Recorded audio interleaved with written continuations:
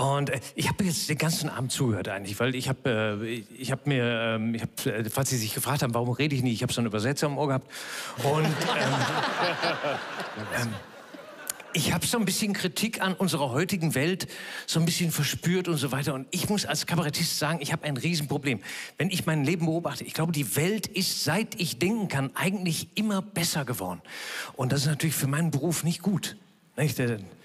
Es, es, war wirklich schlimm, als ich klein war. Als ich zur Welt kam, war die Welt äh, verpestet. Es, es, stank. Mein Vater hat gequalmt wie die Sau. Unglaublich. Damals ging man nicht zum Rauchen am Balkon, sondern zum Atmen. So war das frische Luft schnappen, nannte man das. Nicht? Man schnappte nach allem, was man kriegen konnte, sowas. Mein Vater haben sie, als er 80 war, haben sie ihm die Halsschlagadern ausgekratzt. Dem war ein halbes Jahr lang schwindelig, weil er plötzlich Blut im Kopf hatte. Das kannte der nicht mehr. Das war schlimm. Mein Vater hat so viel geraucht. Ich habe in meinen ersten Lebensjahren gar nicht gewusst, dass ich Füße habe. Ja. So weit konnte man bei uns nicht gucken. Da waberte der Qualm über dem Boden wie beim ACDC-Konzert, ohne Sinn und Verstand.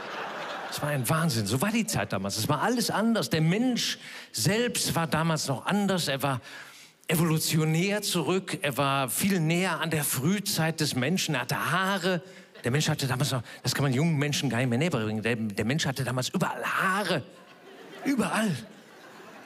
Nase, Ohren, Nacken, Rücken, Brust. Und ich sag's Ihnen ganz ehrlich, bei den Männern war es oft noch schlimmer. Es war teilweise. Es,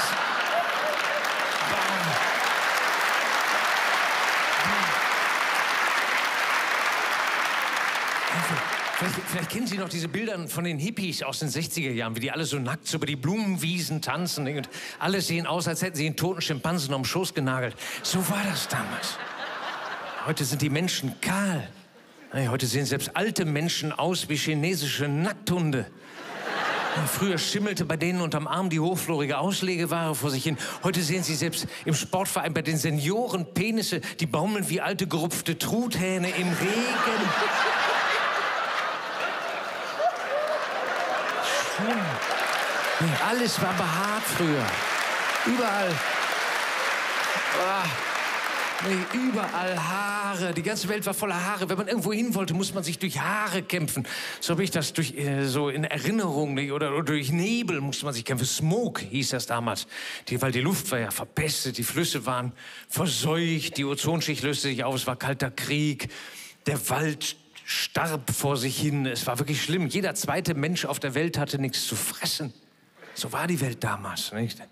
Die Welt ist heute ganz anders. Heute sind die Flüsse sauber, geraucht wird am Balkon, der Strom wird mit Wind gemacht und noch jeder zehnte Mensch auf dieser Welt ist arm. Die Welt ist heute, und das ist eine objektive Tatsache, ein erheblich besserer Ort als damals. Natürlich gibt es heute auch Krisen, das weiß ich, ich bin ja nicht bekloppt, aber gehen Sie mal 30, 40 Jahre zurück, was da los war. Stand der dritte Weltkrieg direkt vor der Tür. Aus den Müllkippen sickerte das Dioxid, die Fische schwammen am Rücken. Tschernobyl war gerade explodiert. Schlimm, überall war Krieg, war Terror, Irland, mitten in Europa, Baskenland war Terror, bei uns in Deutschland die RAF. Es gab früher nicht weniger Krisen als heute. Es gab nur weniger Medien. Das ist der Unterschied. Wir hatten weniger Angst damals. Weil wir natürlich auch nicht ständig mit Nachrichten konfrontiert wurden. Heute wird man ständig, hat man die Nachrichten dabei im, im Handy, Breaking News, dann hat man noch ein Tablet irgendwo rumliegen, Computer, da hängt noch ein Bildschirm von irgendeinem Nachrichtensender. Und dann wirst du paranoid irgendwann und dann immer alles mit Bildern. Früher hatte man Wortmeldungen, 100 Tote hier, 30 Tote da. Da dachte man, oh, ist aber schlimm oder so nicht. Aber heute, heute sieht man die, weil man ständig dabei ist im bewegten Bildern, weil wieder irgendein Arschloch gefilmt hat, anstatt zu helfen. So sieht das heute aus. Wir haben keine Distanz mehr. Wir haben, ja, wir haben,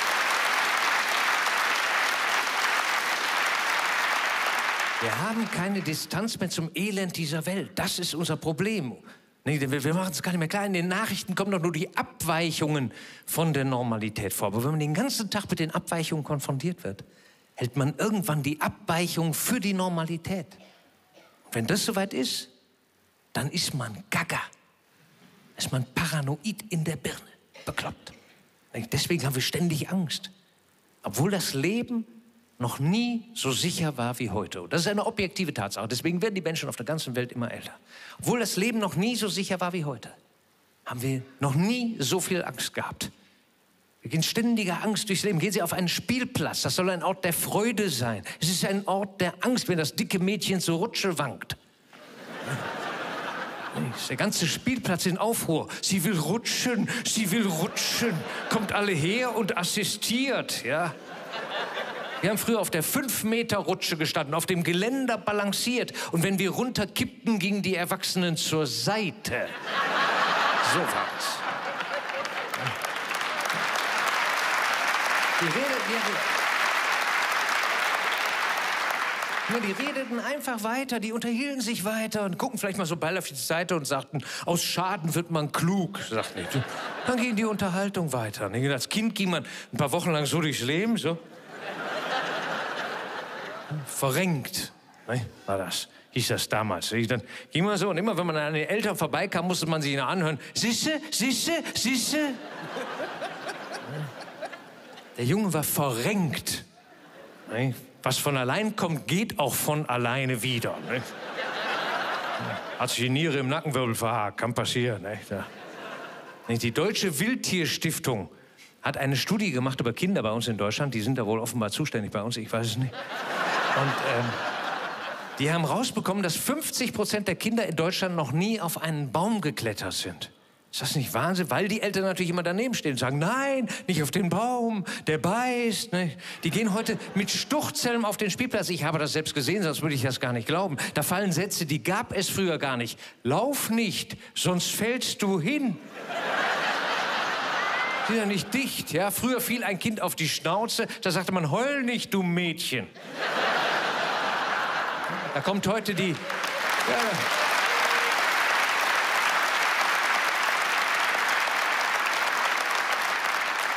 da kommt heute die Gleichstellungsbeauftragte von dem Spielplatz. Da.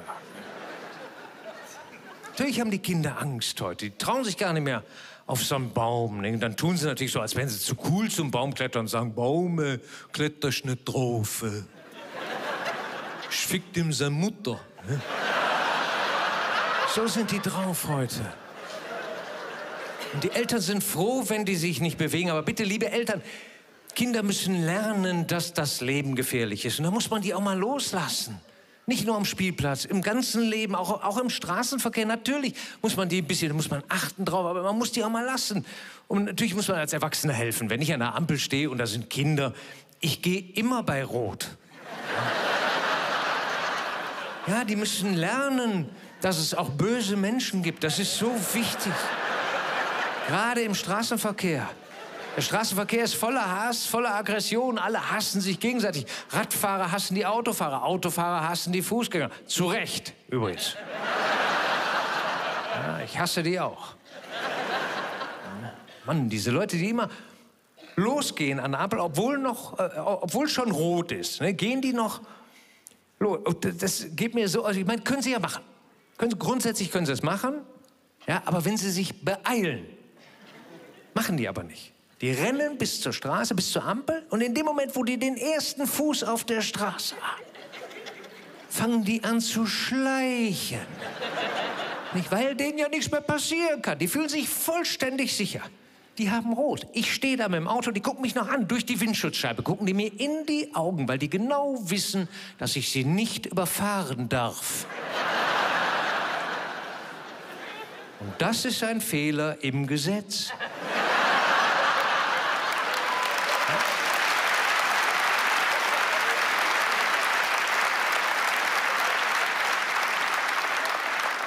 Es müsste ein Gesetz geben, dass ich als Autofahrer dreimal im Leben einen überfahren darf. Nicht dreimal im Monat, das wäre Anarchie. Dreimal im Leben. Dass der Fußgänger schon das Gefühl hat, dass er halbwegs sicher ist, weil er denkt, wahrscheinlich hat er schon zwei